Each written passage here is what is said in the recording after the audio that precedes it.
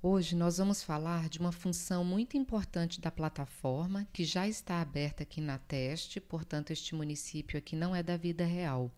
Na aba Configurações, subaba Customização. Do lado esquerdo, vocês têm aqui todos os motivos de exclusão escolar que figuram na metodologia. E do lado direito, três marcações de alta, média ou baixa prioridade. Isto significa o quê? Todas as vezes que entrar, por exemplo, um caso de adolescente em conflito com a lei no sistema, o município vai definir, de acordo com a sua realidade, se um motivo como esse é de alta, média ou baixa prioridade de atendimento. Se ele marcar como alta, significa que todas as vezes que entrar um caso como esse ou como os outros motivos na plataforma, ele vai sempre estar no topo da lista para atendimento, indicando para aquela equipe a prioridade de cuidar de um caso com um motivo como aquele que foi escolhido.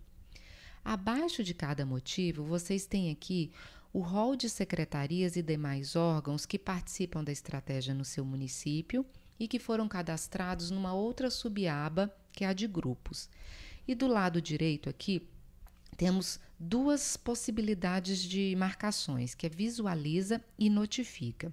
Significa o quê? Quando entrar, por exemplo, um caso de adolescente em conflito com a lei no sistema, qual das secretarias e órgãos que foram cadastrados vão poder visualizar este caso e serem notificados sobre a entrada dele no sistema. É uma função que o município também vai escolher de acordo com a sua realidade.